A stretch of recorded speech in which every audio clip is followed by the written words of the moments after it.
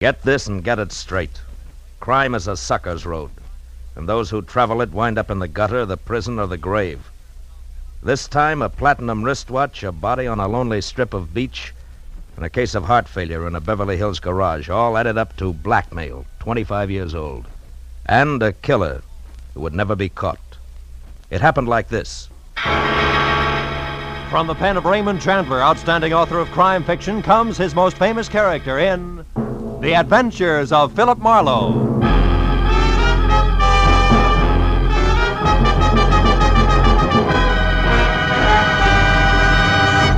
In just a moment, tonight's story. And now we bring you tonight's exciting story The Anniversary Gift.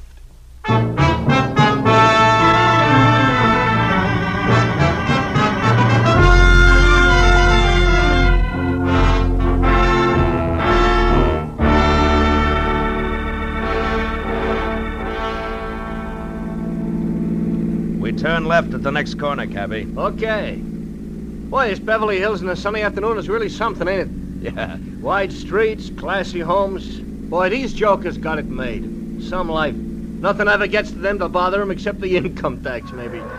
Yep. Here it is, mister. 8834 Beverly Road. What a joint. Yeah. Um, wait for me, huh? Sure, sure, mister.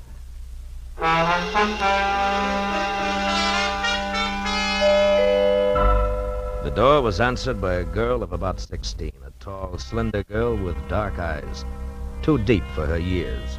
Oh, come in, won't you?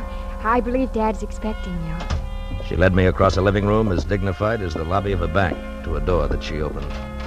If you'll wait here in the library, I'll tell Dad you've come. The library of Stanley Towner, my new client, was as somber as his living room, except for one thing. Over a fireplace that half filled one wall was a life size portrait of a woman. A most beautiful woman. Could have been a painting of what the girl who had just left would look like in another 25 years. I was still staring at the picture when Stanley Towner came in. That's a portrait of Margaret, my wife. We lost her one week ago today. I'm sorry, Mr. Towner. Well, we'd been expecting it for over a year. The doctors had warned us, but even when you're braced for a blow like that, it uh, Yes, I know what you mean. it was her heart, Marlowe. She was coming home from a shopping trip in Westwood last Tuesday evening when it happened. She had her own car and was just pulling into the garage here when the attack seized her. Catherine, my daughter, and I both heard her car hit the garage wall. We ran out and found her. The doctor did everything possible. But Wednesday morning, she was she was dead. I'm, I'm sorry. It's all right, Mr. Towner. I must tell you all this because the the reason I called you here has to do with Margaret's death. I don't understand. I, I I've got to get Mar- Margaret's watch back. A what? A watch? Yes, a wristwatch. It's um, uh, well, I'll try to explain. I loved my wife very deeply, Marlowe. Now that I've lost her, the most important thing in the world to me is the preservation of her memory. Can you understand that? Well, it's natural that you'd cling to things that remind you of her, Mr. Towner. Uh, now, what about the watch? I- It's lost somewhere in Camino Beach. You know where that is? Yes, a few miles below Redondo. Yes, that's right. The day Margaret died, I had taken her watch with me to have it repaired. I went down the coast on some business, and on the way back, I stopped at Camino Beach for lunch, a place called the Trade Winds. You had the watch with you when you went in? Yes, in my overcoat pocket. I came out and got in my car and was halfway back to my office before I realized it was gone. I, I've got to get it back, Marlowe. How much is it worth? In cash, about five hundred dollars, but to me, now it's, it's worth twenty times that. Uh, what's the watch like? It's a Benrus, platinum, and set with emeralds. Mm-hmm. I gave it to Margaret on our 20th wedding anniversary. There's an inscription on the back to Margaret from Stanley with eternal love. I know that watch is somewhere in Camino Beach. Can you find it and bring it back here to me? There's nothing more you can tell me? Unfortunately, that's all there is. I'll do my best. But, uh, I can't guarantee a thing.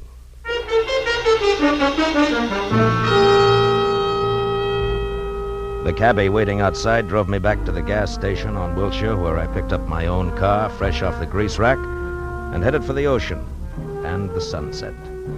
It was getting dark by the time I reached Camino Beach. a rickety, salt-caked little town jumbled in between the highway and the surf. Yeah, my first stop was the Tradewinds Cafe, a waterfront shack on spindly legs standing knee-deep in a smelly backwash. It only took ten minutes to find that there was nothing there for me. After that, I drew a blank at each of the three hock shops in town. Wound up an hour and a half later, no farther than the sidewalk curb, where I watched a traffic cop brand my tire with his parking marker, plant a heavy foot on my bumper to steady his bike, and light a cigarette. Hiya. Is your car? Yeah. What is it? Am I overparked? Nope, not yet. Just borrowing your bumper a minute. Mine? Of course not. Got a lot of scratches already. Say, uh, that's a fancy chalk label you put on the side of that tire there. Z, uh, the mark of Zorro, huh? no, the mark of Ziegler. That's me. Just a little thing I worked out to add a personal touch to my business. uh, you're a stranger around here, aren't you? yeah, from L.A. Uh-huh. Saw you coming out of the pawn shop there. You don't look like the type. well, I'm not as long as my luck holds. Actually, a friend of mine lost a wristwatch here in town. I'm trying to locate it. Pretty good watch, is it? Yeah, good enough. The really tough part is that it has a very big sentimental value. I've tried all three of the pawn shops in town, but uh, no dice. You know, if I had a friend who'd lost a good watch, I think I'd check in at uh, Sean's bicycle shop on 3rd Street. Well, thanks a lot, Ziegler. Don't mention it. Oh, uh, incidentally, I wouldn't bother to tell him who sent me down if I was you. So long.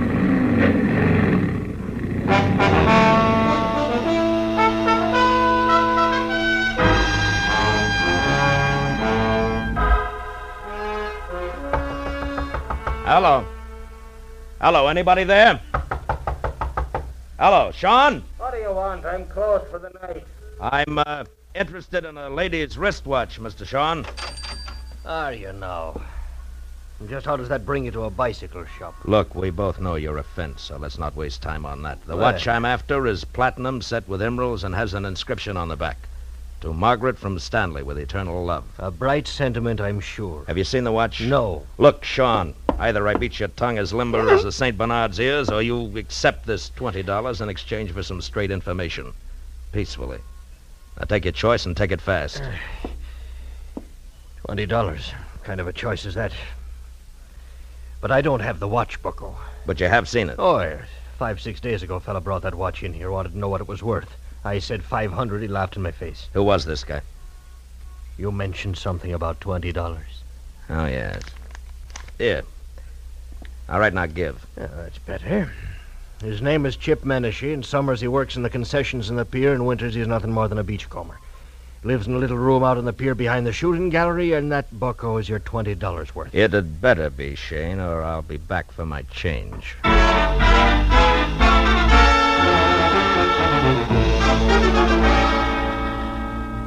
The amusement pier was deserted. When I finally found the one room shack tacked on behind the shooting gallery, it was dark and quiet. I knocked once, got no answer. So I pushed a wad of rags out of a broken pane of glass in the door, reached inside, and unsnapped the lock and went in. With the light from the one naked overhead bulb, I started through the room. On a packing crate that passed for a dresser, I found a week old newspaper clipping that said the body of one Leon Stice of Camino had been found on an isolated beach Wednesday morning, shot in the chest. No apparent reason. Stice was survived by his wife, Nancy, of 320 Front Street. I got real busy wondering why a bum like Chip Menashe saved old newspaper clippings of murder stories when a noise outside turned me toward the open door. What are you doing in my place? You weren't home, so I came in to wait. You a cop or something? No, I'm no cop, Menashe. The name's Marlowe. Huh? Uh, maybe we can do business. Sit down. I don't get you. I, uh, collect old watches. A mutual friend sent me, Menashe. Yeah? I'm interested in ladies' watches, particularly. Maybe something in platinum with emeralds. Okay, Pelly, what's the proposition? Uh, nothing until I see the merchandise. Now, how about putting it on display, huh? I can't hear you, Pelly. Ah, come on now. Where's the watch? Don't rush me, mister. Don't rush me. You'll get you nowheres. All right. Uh, make me a proposition. Ten grand? Ten. Ten thousand? Uh-huh. You must be out of your mind. Yeah, we'll see who's out of their minds. That's a very valuable watch. Maybe you better get out of here and add it all up again. Yeah, maybe I'd better at that. But, uh, Menashe, don't go away because I'll be back. I won't go away. I know when I'm sitting on top of the pile.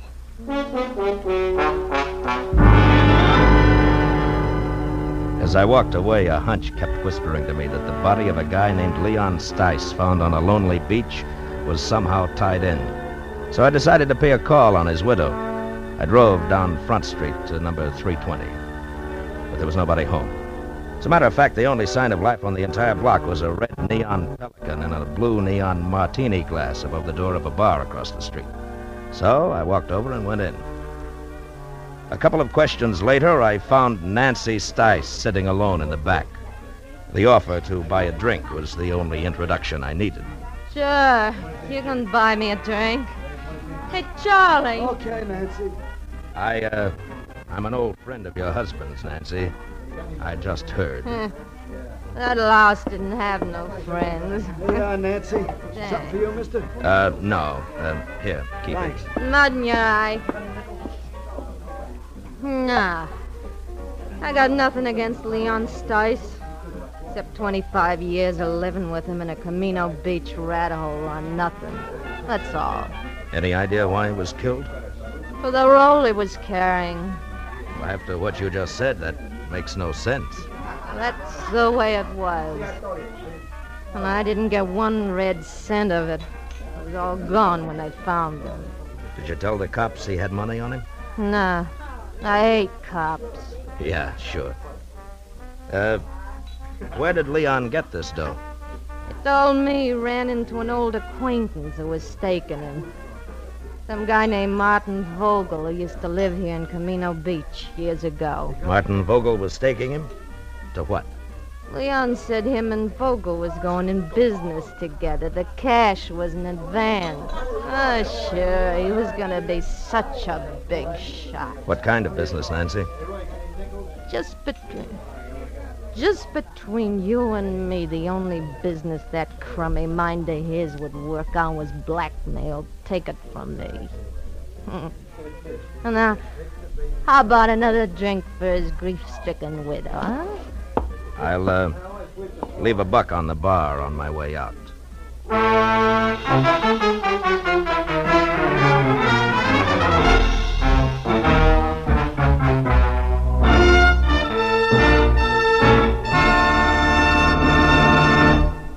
In just a moment, the second act of Philip Marlowe. Now we return to the second act of Philip Marlowe and tonight's story, The Anniversary Gift.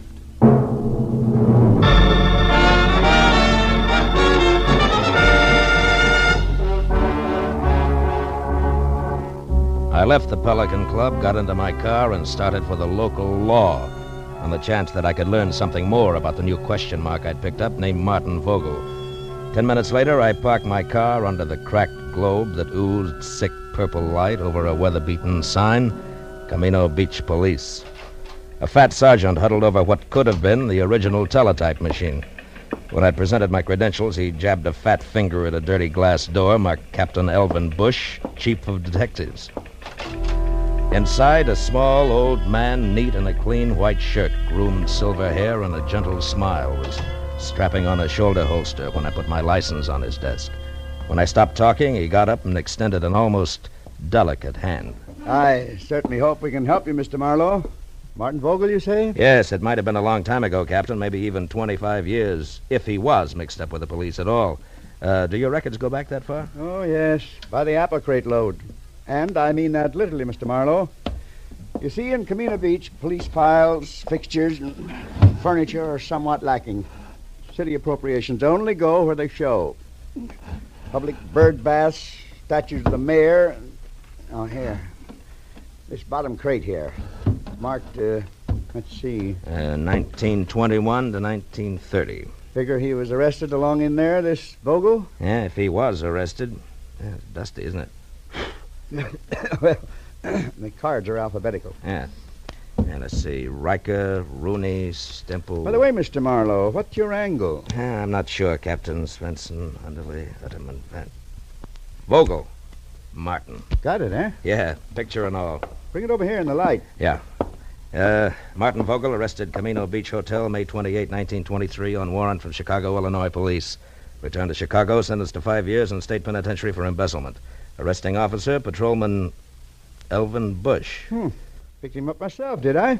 Well, I've locked up a lot of people in the last 35 years. Yeah, I guess you have it. Holy smokes. Huh? What? That can't be. What is, Mr. Marlowe? You look kind of pale. There was no mistaking it. The time yellowed picture of Martin Vogel made it plain. Vogel and my client, the distinguished Mr. Stanley Towner, were one and the same. That meant that Towner had lied to me, and more important, had no doubt killed Leon Stice, who was blackmailing him because he knew he was Vogel.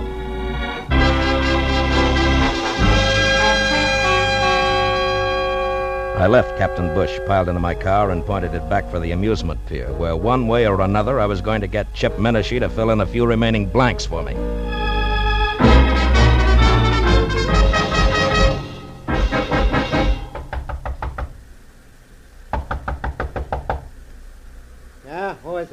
Marlowe, Menashe. I want to talk business. Okay, Marlowe. Looks like I doped it right. I thought you'd come back. All right. Now get up. Now listen hard. I want the watch and the story that comes with it. I told you my price. It's still ten grand. You're bluffing, Menashe. You know the watch means money, but you don't know why. Yeah, Mr. Weisenhofer? All right, now come on, talk.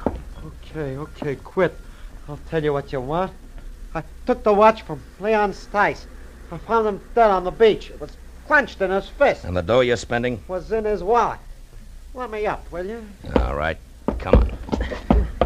Now sit over there. Hands in your lap. School isn't out yet. What more do you want, Marlowe? How do you tie the watch in with Stanley Towner? What makes you think I did? The fact that I was sent here to Camino Beach and the fact that you were ready and waiting for somebody. Well, oh. Okay, okay. Uh, I was lucky. When I read about Stice in the papers, I also just happened to read another article, an oddity, you might say, about a woman in Beverly Hills, a rich man's wife who got a heart attack in her car just she pulled into her garage. Woman called Towner, front name Margaret. Wife of a big shot broker, also called Towner, front name Stanley. I went from there. I was shrewd. yeah, genius. Okay, now give me the watch. Come on, let's have it. All right, get your mitts off. Here. Now you're real happy, Muscles? Happy that you... Hey, cops. Come this way. Hey, Menashe. wait a minute! By the time I got to the door, he was halfway across the boardwalk to his car. But Captain Bush and his sergeant were ready and waiting. When Menashe was next to the gun he kept in his glove compartment, the spotlight on the squad car slashed through the dark, found him, and froze him in a position. We've got you, Menashe. You'd better quit. Menashe, do you hear me? Yeah. No, you listen, Papa. Let him have it, Becker. The windshield sprang into little pieces. That got him. Now, come on, Becker. Yeah, Captain. I waited until Captain and Becker were next to the body and had lifted it off the steering wheel. Then I moved quietly along the side of the buildings as far as the squad car. There, I turned and started back toward them. Hey! Hey, what happened? Oh, it's you, Captain. What brings you around here, Mr. Marlowe? Oh, a guy in town told me that somebody named Chip Menashe might give me a lead on Martin Vogel. You won't be able to now. That's Menashe. What? We wanted him for a week-old stick-up murder. Stick up murder. Uh, that guy on the beach? The same. Say, Becker, you find the money on him? Right, some 300 bucks, Captain. Good. Well, you better call for the wagon now. Check. Funny thing, Mr. Marlowe. One fingerprint did it. Oh, how's that? And that guy on the beach, Leon Stice. We found his empty wallet in the sand next to him.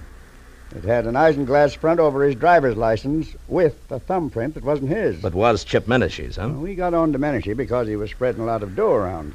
Today, Becker got down here and lifted one of his prints. That cinched it, huh? Yes, that and the shot he just threw at me. Yeah. Strictly a stick-up killer who got caught. Marlowe, about this Martin Vogel, uh, you uh, still want to let it go that the Beverly Hills police are going to get in touch? Uh, I think so. Good night, Captain Bush.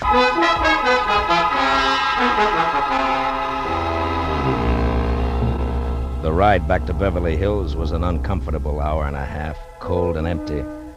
I was glad that I had things to do like stop and start and shift gears. It kept me from thinking too much about a lot of things and a lot of people I wish I'd never heard of. People like Stanley Towner, who I had every reason to be against, but who I was starting to pull for. Stanley Towner, a man who had started all over again after a single mistake made 25 years ago. A man who had fought to build good things, like a comfortable home, a marriage to, to a woman in a painting, a 16-year-old likeness named Catherine. But Stanley Towner, who was also a killer on a lonely stretch of beach far from home, destroying something rotten who would destroy him. A killer that nobody knew about, except me. Well, I pulled into the driveway and parked behind the car that had been Margaret's. As I got out, the light of the garage went on and the side door of the house opened. I felt almost wrong dropping my hand around the 38 in my side pocket. Good evening, Mr. Marlowe. You have the watch? Yeah, I had quite a tussle getting hold of it. I imagined you would. Menashe's dead, Mr. Towner. Menashe? Who, um, who is Menashe, Mr. Marlowe? The reason you hired me? The man who called you and dangled this bait? Yeah, you were right. It's a beautiful watch, Mr. Vogel. Vogel? You, you know about it? Yeah, they keep police files a long time. I know about everything. Except why you didn't go after the watch yourself. Well, I, I, I was afraid. Afraid to show yourself in a town where somebody might remember you, huh? The town in which you had committed a murder, is that it? Yes, yes, that's it exactly. Dad? Dad, is that you down there? Yes, dear. Me, Mr. Marlowe. Oh, well, why don't you come into the house?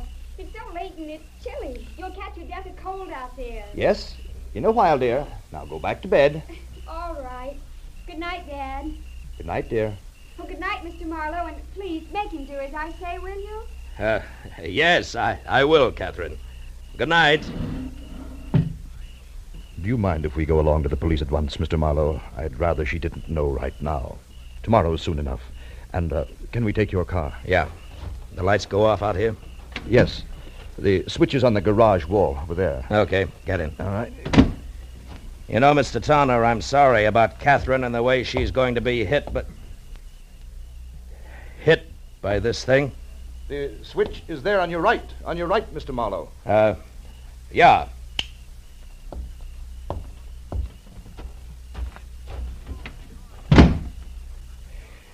It was a very nice house. Mm-hmm. Mr. Towner, you certainly loved Margaret a lot, didn't you? Completely, Mr. Marlowe. And her memory, too? Why do you ask? Something that makes me awfully happy. Mr. Towner, you didn't kill Leon Stice. Marlowe, what are you saying? That you never lost your wife's watch at Camino Beach. You never had it. She lost it herself. Lost it when she struggled with Leon Stice just before she killed him for your sake, for you and Catherine and everything you've worked No, for. Marlowe, no, yes, you- Margaret had a bad heart. She knew she didn't have long to live. Also, she knew that Stice was blackmailing you. It figures, Towner. And what also figures is that you'd rather pay for a murder that you didn't commit than to have Margaret's name soiled. Yes, I would, and I will, because you can't prove any of this. Correction, Mr. Towner, I can. With your wife's car there in the garage, the car in which she died on what you said was her return from Westwood. Which it was? No, not according to a funny little chalk mark I just saw on one tire, it wasn't. A little white Z that a policeman named Ziegler in Camino Beach makes to check on parking time. And we can go on from there. Your confession won't mean a thing. But Marlowe, it will, it will, it must. No. No, I guess it won't.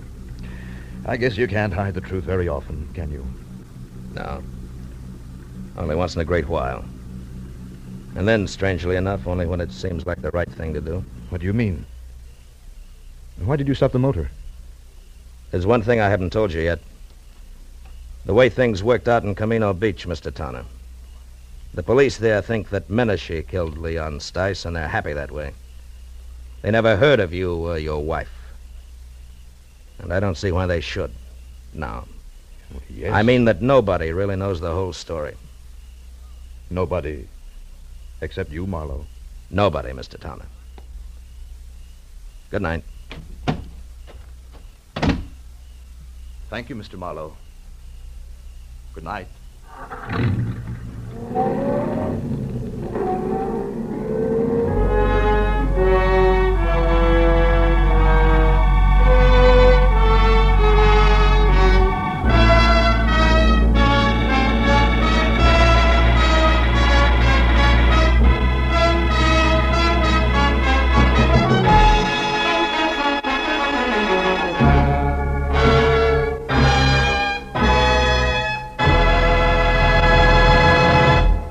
Philip Marlowe will be back in just a moment.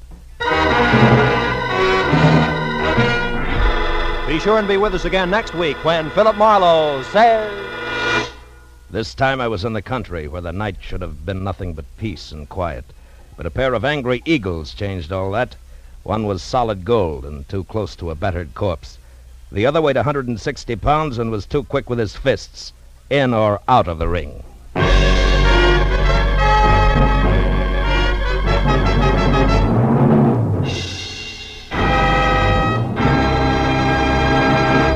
The Adventures of Philip Marlowe, bringing you Raymond Chandler's most famous character, tonight starred Bill Conrad, are produced and directed by Norman Macdonnell, and are written for radio by Robert Mitchell and Gene Levitt.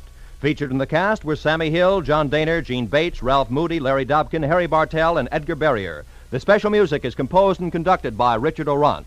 This is Roy Rowan speaking for CBS, the Columbia Broadcasting System.